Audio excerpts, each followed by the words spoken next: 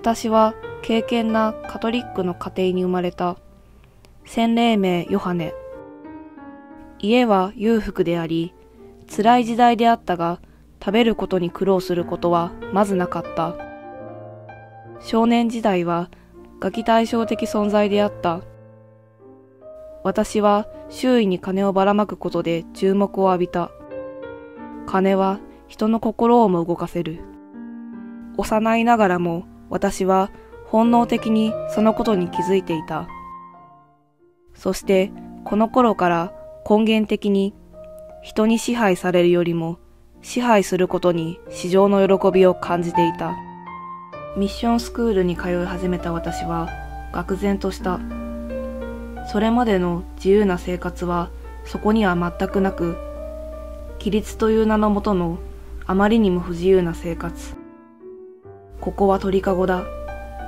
空に羽ばたくことができない。ならば私はせめて鳥かごの中でだけの楽しみを模索した。嘘。そう、私はここで嘘をつくことを覚えた。天性の才能もあったのかもしれない。私は自分でも驚くほどスラスラと嘘をつき、嘘を嘘で塗り固めることによって周りの関心を引くことに夢中になった。この頃には信仰への興味は失せつつあった。そもそも神などいるのかミッションスクールを辞める頃、私は自分でも驚くほどの処世術を身につけていたのだ。虚飾と虚像で自分を乗り込めることにより、私はたやすく他人から金をせしめることに成功した。この世はあまりにもたやすい。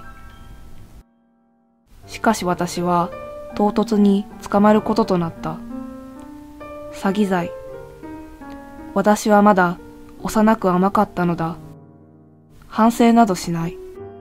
次にシャバに出たら同じ失敗は繰り返さないと誓った。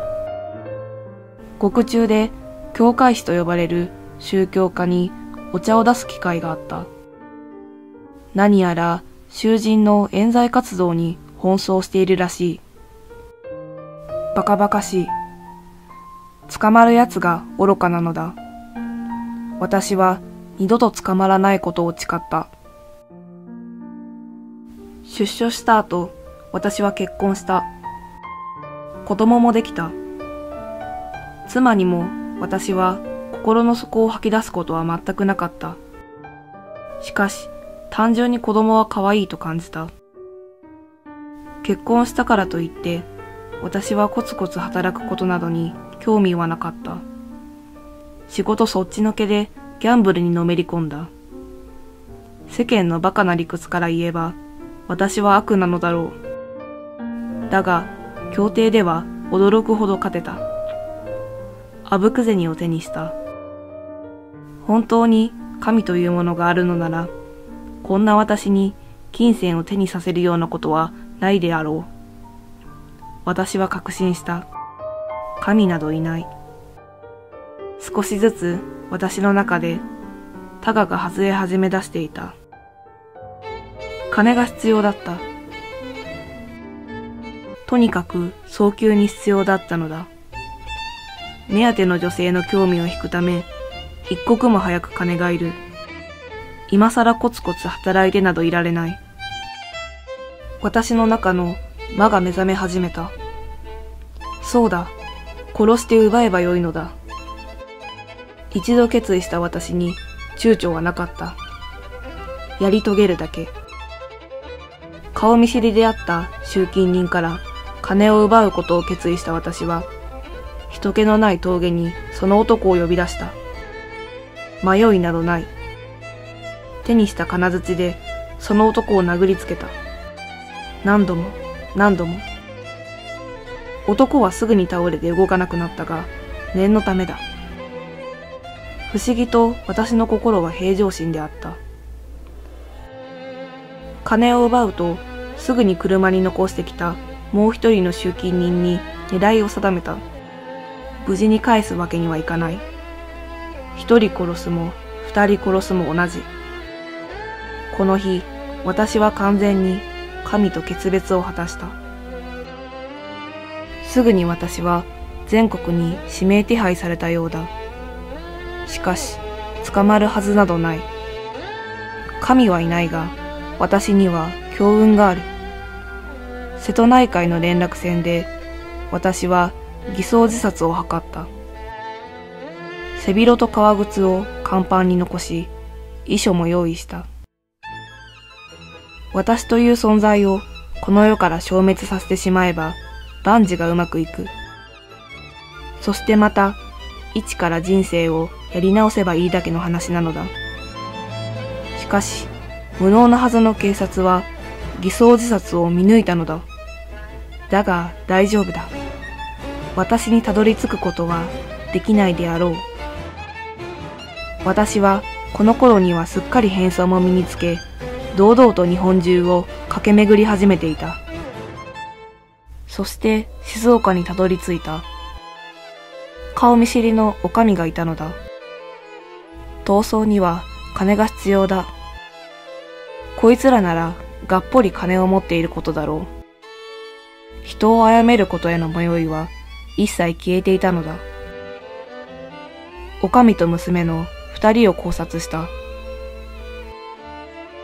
その瞬間の感情は高揚感もなく、ただ無であった。